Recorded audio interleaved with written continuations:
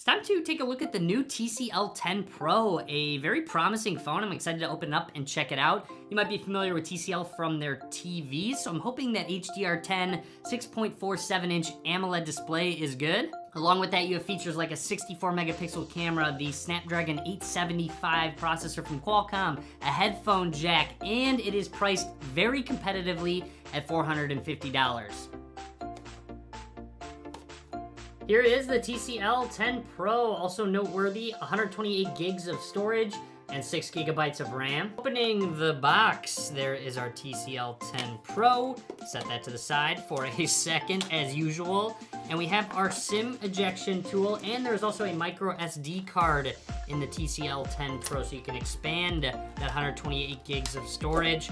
Opening it up, you'll see just some, uh, some booklets, and then a display greatness case from TCL. So nice that it actually does come with a case included. Pretty standard charging cable and adapter, which is USB type A to USB type C. So that's everything that comes in the box. Let's check out the TCL 10 Pro. Take off some of this packaging on the back. Let's boot the phone up. Also, review video is coming soon, so be sure to subscribe so you're notified when that goes live. I will be putting my SIM card in this phone, installing all my apps, and speaking of apps, past experiences with the Bumble app is that I was able to have the most high quality conversations within it. App video calling, so a woman can use that as their first move to do a video chat, or of course in response, a man can go ahead and start a video chat. So you can go ahead and do some virtual dating if you'd like. For some virtual dating ideas, you could order the same takeout, have a dinner together. You could even show off your crib, show off your living space, and introduce them to your pets.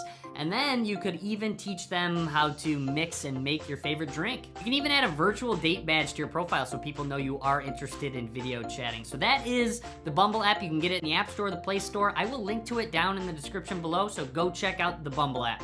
Right away, I'm noticing the back has curved sides to it, and then also, really nice. So look at the quad camera system on the back. It's completely flush with the back of the phone. However, the flashes, the LED flashes on the left and right hand side protrude out just slightly, which is actually a great thing because with phones that have completely flush cameras and nothing on the back, they slide on tabletops so easily. So the fact that these have LED flashes right here should make it so that this does not slide off the table. And then on the left side, make note of the rounded back and rounded front with the display. And you do have a separate button on the left side called a smart key, which you can customize. We'll talk about that in just a second. On the front here, you do have a bit of a notch for that camera placement and overall minimal bezels. So down at the bottom, that SIM card slot, micro SD card, USB-C slot for charging microphone, and one of our speakers. Moving along the right side is where the power button is, volume controls up towards the top. Check this out, microphone and an IR blaster, so an infrared blaster, so you can go ahead and control TVs and such. And there is our headphone jack up towards the top. Also, on the back is that 64 megapixel standard wide angle lens, 16 megapixel ultra wide angle lens, and then you have a 5 megapixel lens for macro shots, so getting really close to the subject, and then finally a 2 megapixel depth sensing lens. Go ahead and skip through the startup process. I'll talk about anything noteworthy. The 10 Pro does have an in-display fingerprint scanner, so let's go ahead and set that up. Just set our finger on where that fingerprint is at, lift it on up,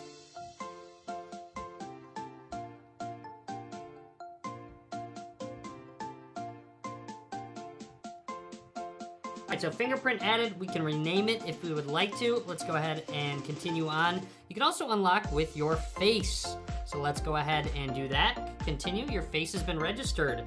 We're, we are uh, ready to go. So we'll test both of those out. Let's go into settings and jump into display right away. Some status bar settings. Uh, you can actually get rid of that notch, so you can hide the front camera. We can try that out, and you'll see that notch does go away. If you don't actually want that, just puts a color around the status bar. Looks also the NXT vision setting, maybe next vision, where it's going to adjust contrast, sharpness, and saturation to improve your screen image. So we can go ahead and leave that one on. Now also, whether you want the home and uh, app drawer or just the home screen only, I like to have the app drawer. Setup is complete. Let's go ahead and continue through.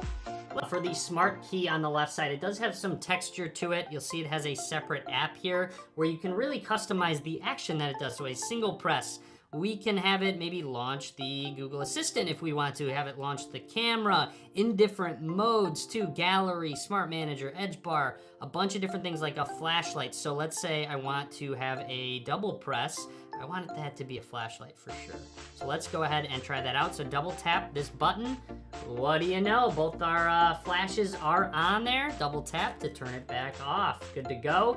And then if we press it once, it will go ahead and activate our Google Assistant. Kind of neat and convenient and great that you can customize. For those like they have a dark mode built in, so we can turn that on and it's going to probably have a system-wide dark mode turning on between apps that you can schedule. I am really glad TCL decided to add a scheduler to their dark mode. Got a lot of questions about this one, but they do have an always on display, which is awesome to have for OLED displays. There's different styles to them if you want to mix up the clock, change some things. So let's go ahead and add that one. So when we go ahead and lock our phone, that always on display should come up. There we go. We can see the notification icons, time, date, and battery percentage, and that little uh, jellyfish there. So we can go ahead and unlock our phone with our fingerprint scanner. Let's test that out again.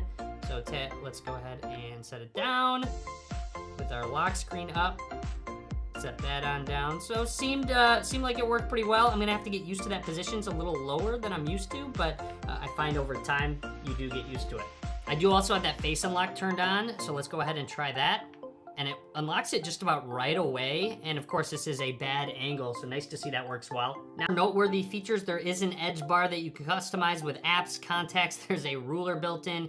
You can change those if you want to. Going back, they also have a one-handed mode, game mode, driving mode, and gestures. So you can have a three finger screenshot, split screen gesture. So you swipe up with three fingers to activate split screen. This app doesn't actually support it, but if we go into an app that does like the Play Store, swipe up with three fingers and it will go ahead and activate our split screen mode.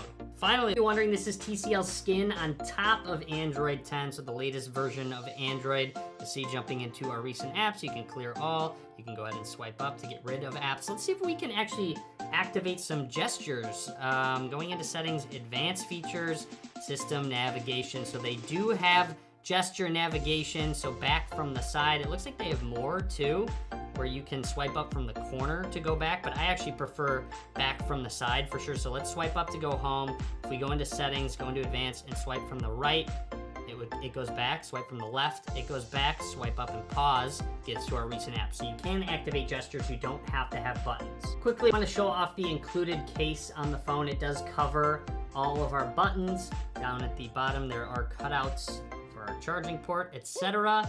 And of course a cutout for our infrared and headphone jack. So overall looking good. Definitely adds some grip to the sides and a little bit of thickness so it makes it a little bit easier to hold. Couple more. Let's jump into the camera app for the first time and just snap a quick picture. There's one, two, just to kind of see the shutter speed and check out some of the modes here. A light trace, I wonder what that actually is. Capture movement, capture light, or draw light. That's kind of cool. I'm gonna have to test out that mode for sure. More to come on that. Swapping through, you do have portrait, you have a pro mode. There's even that super night mode to take some long exposure shots. Of course, more to come in a future video, so stay tuned for that. So that's everything I want to talk about with the TCL 10 Pro for now. Pretty exciting device at that $450 price point. Drop a comment, let me know what you think. I hope you enjoyed the video. Be sure to give it a thumbs up. As always, guys, thank you very much for watching.